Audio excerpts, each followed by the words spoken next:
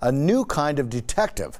Reporter Bella Bright shares how officers are using an old fashioned technique to sniff out high tech evidence. The Rupert Police Department has brought on its newest officer. He has four paws and can sniff out even the most difficult criminals. Show me. Show me. Show me. Canine Newton isn't your ordinary, adorable two year old black lab. He's one of only 66 canines across the country who can detect electronic storage devices.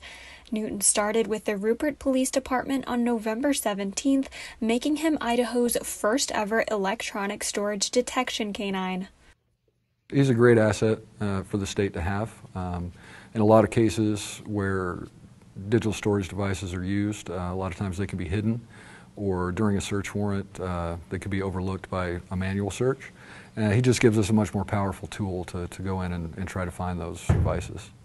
These storage devices are key elements in cases involving child sexual exploitation. Many reports of child exploitation are related to online enticement, including sextortion, apparent child sexual abuse material, and child sex trafficking. In 2020, the National Center for Missing and Exploited Children Cyber Tip Line received over 21 million reports.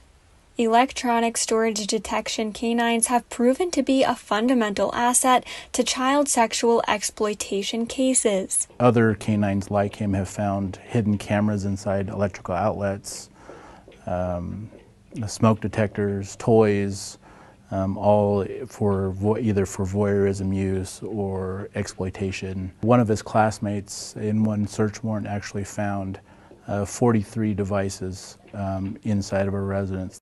The Rupert PD was awarded a grant used to obtain Newton from the Utah based nonprofit Operation Underground Railroad, which works to fight child exploitation and human trafficking.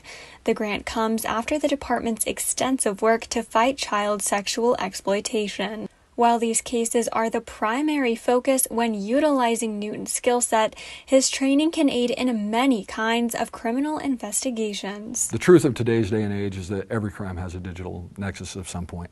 There's always a cell phone involved, or a thumb drive, or an SD card, or something of that nature.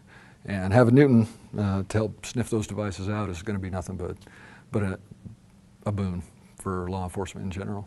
Newton is trained to detect a chemical compound found in electronic storage devices. While formal training has concluded, Detective Travis Freeman trains with Newton daily. Newton is also a trained service dog and expertly keeps those around him smiling. First thing he does, he runs into my office and, and says hi, and, and uh, then he makes his rounds through the rest of the to the rest of the staff. The goal of K9 Newton and Detective Freeman's work is to serve as an asset to agencies across the state. Bella Bright, Idaho News 6.